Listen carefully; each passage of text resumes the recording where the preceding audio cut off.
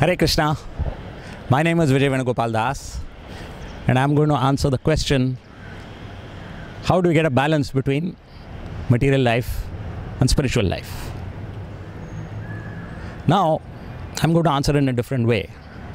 We all know about balances, and every balance has a fulcrum, which around which the two sides are uh, rotated or they balance. So, my answer is that if your fulcrum is Krishna, the Supreme Lord, then it's very easy to obtain a balance between spiritual life and material life. Normally, why people are conflicted by this is that they think that material life and spiritual life are opposite or they are at right angles to each other. If you do one, you can't do the other. And therefore, you sort of do 50 50. Sometimes this and sometimes that, sometimes this and sometimes that. And these are in conflict, and therefore, we are constantly in tension. Where is my balance? Where is my balance? So, this is going to make life always difficult and tension ridden. When we are in spiritual life, we are worrying whether we've neglected our material life. When we are in material life, we are worrying whether we've neglected our spiritual life. And in this way, we are never happy. We are always feeling a little frustrated. So, the secret is actually to keep the fulcrum as Krishna. And if Krishna is at the center, then these two, material life and spiritual life, they don't have to be opposite. They don't have to be at right angles, but they can be congruent. If you put Krishna at the center of your material life also, and if in your spiritual life you make sure your material life is taken care of, then everything mixes nicely. Then you don't feel as if you're divided into two different people.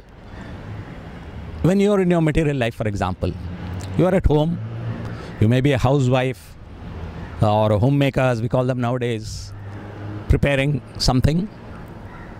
And then you think that that is different from spiritual life? No, it should not be different from spiritual life. Your home should actually be a center where your spiritual life originates.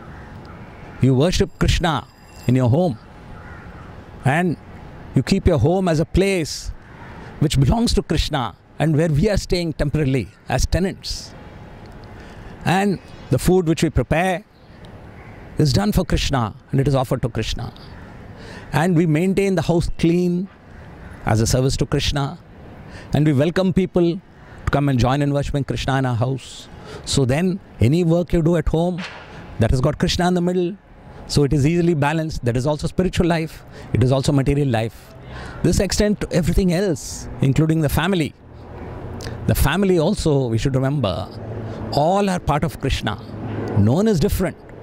If we are all part of Krishna and this house belongs to Krishna, then everything can center around Krishna and we serve the family, whether it's our parents or our children or our husband or our wife, we serve them as parts of Krishna. We don't worry about the differences. Of course, the externals are different. Each of us has many lifetimes of previous experiences which are affecting us on the outside. So these externals may differ from me and you and everyone else. But when we see that we're all part of Krishna, it is just like actors in a play. If there are people acting in a play, they all know that they're not the mask which they're wearing, they're not that role which they're playing. They all know each other as actors and they are friends. They are not affected by any disagreements during the play. So we will not be affected by disagreements. We will not get too attached to the characters in the play. We'll be attached to the real people. This way, our whole, entire home life, our family life is Krishnaized. So, no difference between material and spiritual life. Completely balanced. And even if we are working, our work should be done as a service to Krishna. We may wonder how. I'm working in a bank. I'm working in an advertising agency. I'm working in a multinational company. I'm doing IT. What has that have to do with Krishna? It is this. Everything belongs to someone else. We are working for a company which belongs to someone. We think it belongs to the shareholders. We think we are reporting to our bosses and so on. But ultimately, who does everything belong to? Yes, it belongs to Krishna. So if it all belongs to Krishna and the ultimate owner is Krishna, then we can very happily work for an enterprise. This belongs to Krishna. I may have so many bosses in between, but this belongs to Krishna. So I must do my best and I must make sure this endeavor prospers, this enterprise prospers because it belongs to Krishna. We'll work in such a happy mood and we will not be separated from Krishna. So, this is the way very nicely we balance between spiritual and material life. In spiritual life, we make sure that we don't fall sick, we are healthy, we have a reasonable amount of comfort, and if these are also there in our spiritual life, we don't uh, deny ourselves anything, we are reasonably comfortable, then very nicely spiritual life and material life are balanced, and we are happy, and we are one single person. Hare Krishna.